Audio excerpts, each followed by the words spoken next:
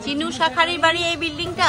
ছিল হ্যাঁ সারদা মাকে শেখা পড়েছিল হ্যাঁ। আর ভিটে এর কেউ বংশধর নাই চিনি বলে- বাড়ি তাই এর কেউ বংশধর নাই বলে জায়গাটা রামকৃষ্ণ মঠ নিয়ে গদাধর বিদ্যা মন্দির করেছে। স্কুল বানিয়ে দিয়েছে? হ্যাঁ স্কুল বানিয়েছে উপরটা গেছে। ঠিকই করেছে। ভিতরে একটা তুলসী মঞ্চের গাছ আছে। স্কুলে এটা রামকৃষ্ণ মিশনের এই সম্পূর্ণ জমিটা না? হ্যাঁ এই জমিটা সম্পূর্ণটা পুরো পুরোটা? পুরোটা গদাধর গদাধর পার্ক এটা। আচ্ছা। গদাধর শিশু উদ্যান বাচ্চাদের চিলড্রেন পার্ক আর এই হচ্ছে ঠাকুরের হ্যাঁ হ্যাঁ হ্যাঁ। হ্যাঁ। হোস্টেল আছে এই থেকেও পড়াশোনা হয়। ভূতি খাল খেলা হ্যাঁ ভূতি খাল না? এটা ভূতি খাল না? ব্যাপারটা সুন্দর অবস্থায় সুন্দর।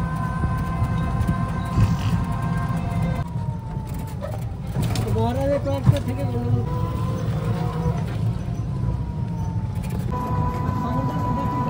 এবার আমরা যাচ্ছি মানিক রাজার রাজবাড়িতে। তো দেখাচ্ছি আপনাদেরকেও দেখাবো। যায়। স্টক মার্কেট আলো দিয়েছে তো দেখুন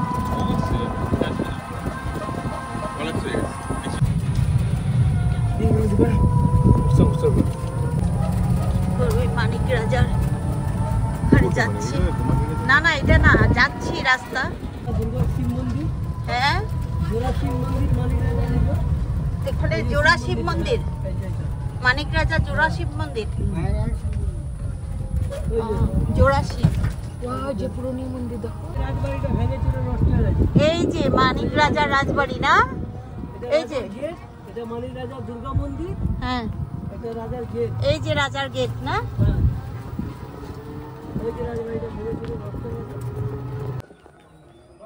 মানিক রাজার বাড়িতে আমরা এসছি। এটা হচ্ছে মানিক রাজার বিষ্ণু মন্দির। আচ্ছা। এই এখানে এক লক্ষ বাউনের পদধূলি আছে এই মন্দিরে। এই যে মানিক রাজা যে ছিলেন হ্যাঁ। খুব ধার্মিক রাজা ছিলেন উনি হ্যাঁ?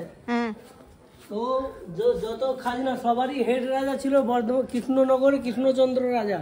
আচ্ছা ওকে মানিক রাজাকে এখানে পদবি দিয়েছিল রাজা বলে। হ্যাঁ। তো ওকে দায়িত্ব দিয়েছিল খাজনা টাজনা তুলে সব ওখানে পৌঁছবার দায়িত্ব। এ তো ধার্মিক লোক ছিল যা খাজনা তুলতো সব গরিব মানুষদের খাইয়ে মেকআপ করে দিত। প্রচুর ডিউ হয়ে গেছে। কৃষ্ণচন্দ্র রাজা সৈনিক পাঠাচ্ছে তোমার খাজনা ডিউ হচ্ছে খাজনা দাও। খাজনা থাকলে তো দেবে। লাস্টে কি করলে একে হিন্দে তুলে নিয়ে চলে গেল। লিজে বলছে তুমি এতদিনের খাজনা মেটাও না তোমার কারাগার দিয়ে বন্ধ করব বন্ধ করব ফাঁসি দেবো। তখন এখান থেকে এক লক্ষ বামুন গেল যে আমাদের অন্নদাতাকে তুলে নিয়ে সেই ইয়ার্কি মারানো হচ্ছে আমরা খাব কি? ওখান থেকে মানিক রাজাকে চ্যাংদোলা করে তুলে নিয়ে চলে এসেছিল এখানে হেঁটে হেঁটে। আচ্ছা। কৃষ্ণনগর থেকে দিয়ে রাজাকে তুলে নিয়ে চলে এসেছিল। সেই এখানে আসার পরেতে রাজা অনুষ্ঠান করেছিল এক লক্ষ বাউনকে খাইছিল এখানে এক লক্ষ বাউনের এই মন্দিরের ভিতরে পদধূলি আছে। ও আচ্ছা আচ্ছা এই মন্দিরটার হ্যাঁ, ভিতরে হ্যাঁ, না? হ্যাঁ। এখন বন্ধ ভিতরটা? আর এই হচ্ছে রাজার বাড়ি এদিকে আসুন রাজাদের বংশধর বংশধর সঙ্গে কথা বলবেন? বলব। বলব নিশ্চয়ই বলব। ঘুমাচ্ছেন দুপুরবেলা তো? এই যে মানিক রাজার অরিজিনাল বাড়ি হচ্ছে এটা। এটা না? হুম। আচ্ছা।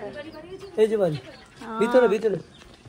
মানিক রাজার হচ্ছে মানিক রাজার অরিজিনাল বাড়িটা। হ্যাঁ। কিচ্ছু হবে না। আমরা আসাম থেকে আসছি। আসাম। গুয়াহাটি। ইনি হচ্ছেন মানিক রাজার বংশধর। আচ্ছা।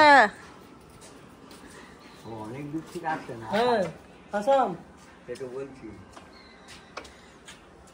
দুপুরবেলা ডিস্টার্ব করতে চলেন না না মানুষ মানুষের কাছে আসবে তো তো মানিক রাজার বাড়ি। এ হচ্ছে অরিজিনাল বাড়ি। হ্যাঁ। রাজারা ছিলেন সাত ভাই। হ্যাঁ।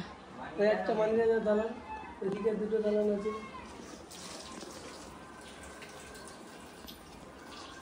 এই যে মানিক রাজার পুরনো বাড়ি। এই যে ওইটা একটা দেখলা এই যে একটা আরেকটা।